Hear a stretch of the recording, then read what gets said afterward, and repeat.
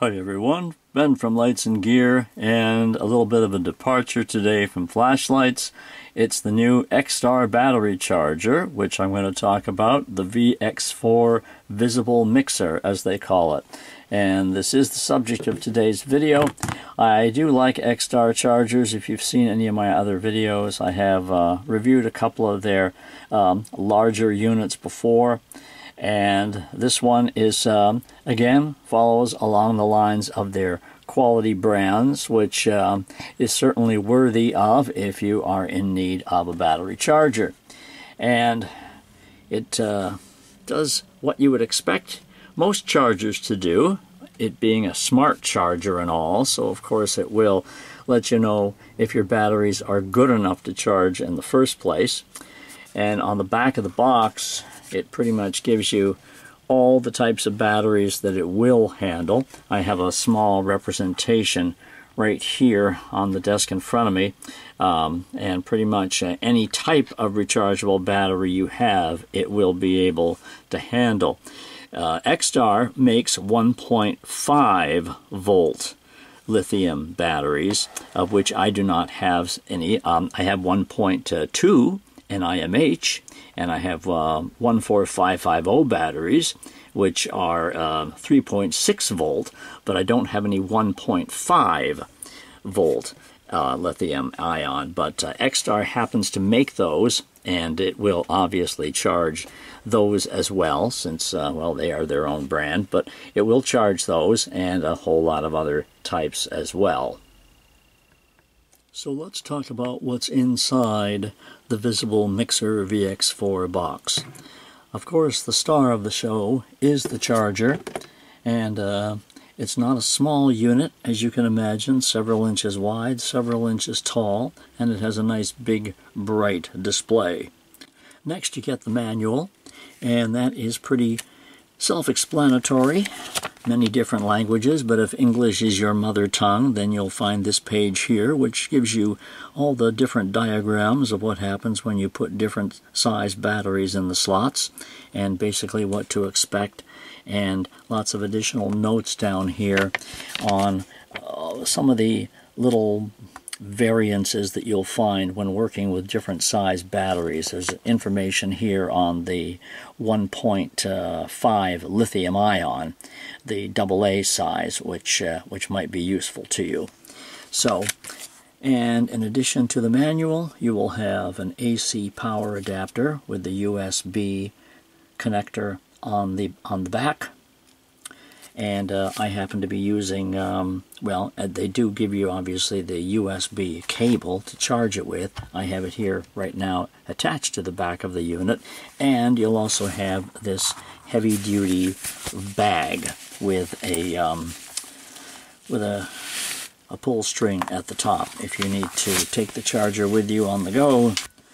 Visually, the charger features features three buttons. This one says CV on it right here. And right here is a mode button.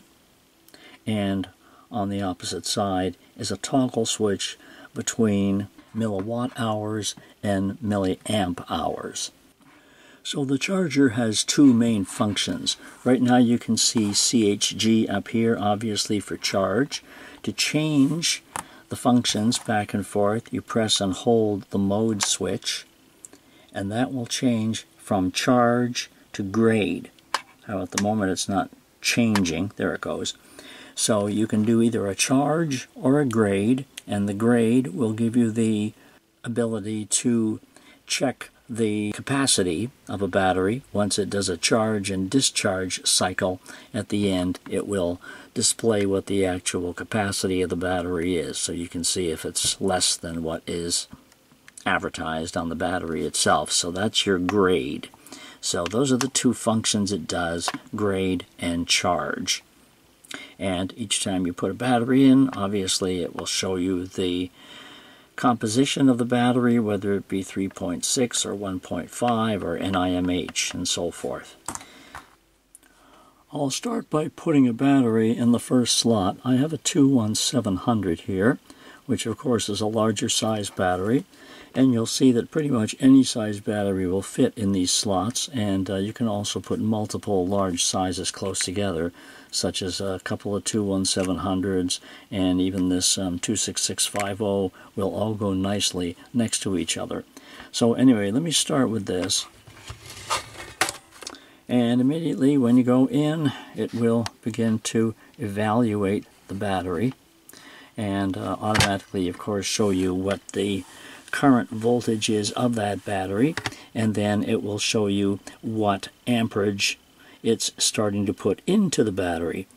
It's um, and you can set, of course, the charging current if you wish by pressing the CV button. That will start to show you 3000 or 2000 or 1000 or 500 or 250. So those are your selections as to how much power how much amps you want to put into the battery. Now if I was to change the current down to 2000, now of course for every battery I put in here, it will start to lower in the amount of uh, amperage that the batteries are getting. With each inserted battery, it will give you less and less amperage, but obviously still enough to charge in a reasonably decent amount of time. So of course, as you can imagine, as soon as the battery is finished, it'll say full on the display. It'll show you the amount of um, uh, amps that it put in the battery, and um, and you'll also get, of course, the uh, the completed voltage at the same time, naturally. Now, if I put a different size battery in there, you'll get basically this one here is a 14500 double A size lithium. And again, here we go, showing that this is a lithium ion. This voltage is at 3.27, and it will start applying a current to the battery. It's uh, obviously not applying that much of a current since it's a smaller battery. It's only getting 250 at the moment.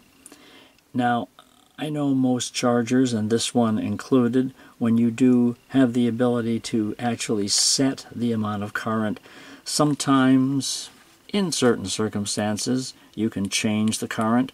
I think it's much easier to put the current down rather than change the current up because the charger does know the current that that particular battery needs to charge safely.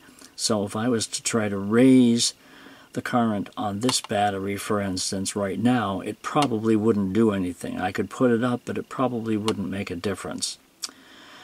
Now, of course, if I was to change this to the grade, which I can do as well, then it would give me a different kind of status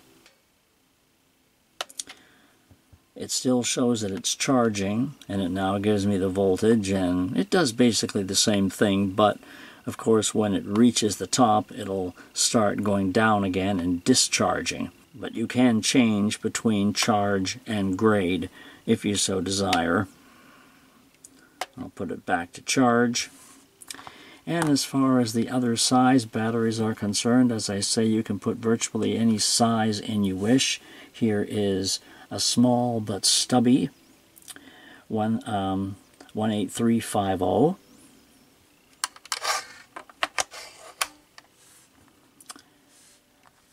This is this is two. Uh, this is a 3.7 lithium ion, and here again, this one's practically full at 4 4.20 volts, so it's almost full, and it's now charging at 200 mA and the battery next to it, the 14550, it's going at uh, 250 and the larger 21700 on the side is now going at just about a thousand. Last but not least, I could put another battery in the last slot. I have an NIMH here at 1.2 volts, so we can uh, plop that one in. And again, it'll start to analyze the battery and notice that it's an NIMH, not a lithium ion. This is at 1.34 and it'll get a much lower charge at one point, or rather not one point, it'll get a much lower charge at 150. Now in the meantime, this little guy has finished, since he was almost full anyway. So there's your full symbol on the 18350, and it finished at 414. Obviously there's uh, a zero MA going into it at the moment. Now some chargers will let you select one slot so you can just look at the information in that one slot. Perhaps slightly unfortunate with the VX4 it does not allow you to select a particular slot so anything that I press will affect all the batteries. If I press the mode switch that will change slightly.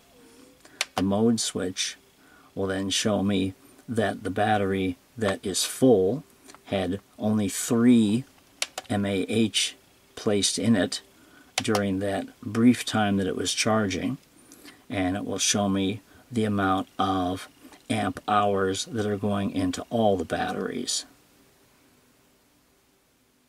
And that's by pressing the mode switch once. If I pressed and hold the mode switch that's what changes it from charge to grade.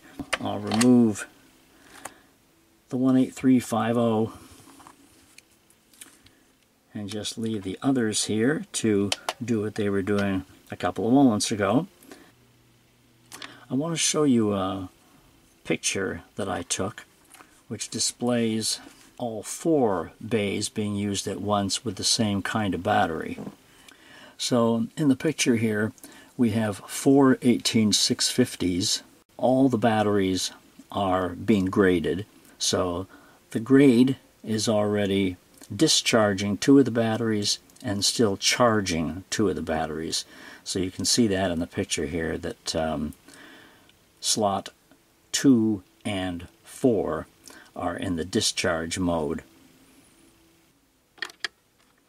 To demonstrate the different sizes of the slots on the batteries, I have here the 26650, which I showed you a couple of minutes ago. I can uh, put that one in the, in the third slot here since we have an empty space for a moment. Put that one in the third slot and that should also give us a, a reading here in a second. There we go. This is a flat top so it has to be placed in there a certain way for it to start reading the battery but again you've got the readings right here going in that one 3.88 volts and it's uh, charging this one at a pretty good clip actually. It's charging this one at the same rate it is as battery number one, so almost a thousand mA going into this 26650. Depending on the kind of batteries you have around your house, sometimes you might find some which you're not sure whether they'll actually charge or not. I have this battery here that I've had for a number of years. It's a 14500, an IMR, and I used to use it quite regularly. I hadn't used it in quite a while, and I went to see if the XTAR would handle this battery, and uh, rather surprisingly, actually, it doesn't. Um, there does seem to be something uniquely wrong with the cell. I can pull out this um, NIMH here just to demonstrate this particular one here. I'll put that in the final slot, replacing the other one, and it doesn't even recognize this battery at all. I've uh, tried putting it in a couple of different ways just to see if it was a contact issue, but it just doesn't register at all. This might happen on occasion, so just know that that is a possibility. If there's another unique problem with a particular battery and you put it in the unit, it might display error, ERR, to uh, indicate that it simply is unchargeable. Nothing wrong with the unit, it is the battery, and the charger knows if a battery is uniquely dead, although it is supposed to be able to revive dead batteries, but not all conditions can sometimes be met, you know. Last but not least, as I wrap up this review, I'm going to show you the grading feature. I have a 700 mAh battery here of the um, 16340 size. So just one of these little guys. I'll put that in and as we uh, analyze the little fella, it will be at 3.52 volts. And with this kind of a battery, under the, uh, actually let me put it under grade. There we go. So now under the grade mode, it will start charging this battery. Again, if I press the mode switch at this point, it'll tell me that it is charging at 250 mA. We will let this guy go through the paces here and see what happens when the battery is completely done through, completely done with the charging and discharging cycle. I should also point out that of course while it is charging you'll see the bars going from bottom to top and you'll always know when it's in the discharge cycle when of course for one thing it does not show charge right here but you'll also see the little bars going in the downward cycle so they will go uh, from top to bottom instead of bottom to top. All right, now this concludes the testing of the battery that I have been testing for a little bit. It does take uh, a while for it to run through the sequence, but as you can see, it is finished. It's at uh, 4.15, and the capacity of the battery is 675. So that's not too bad because on the battery it says it's um, 700 mAh, so it's not that far off from its um, actual uh, or its stated capacity, I should say. The real capacity is not that far off from the stated capacity. And that's your uh, grade feature. And uh, with that, that is pretty much the finished review here of the XTAR, X, uh, rather VX4 visible mixer. And if you want to pick one up, you can do so by clicking the link in the description down below. Hope you do like this video and subscribe when others come down the pipeline.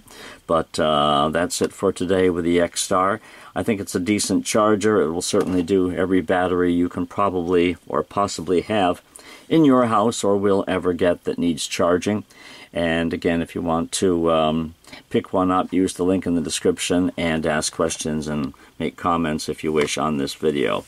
All right, thank you very much for watching. We will see you next time, and we'll talk to you soon from Lights and Gear. Bye-bye.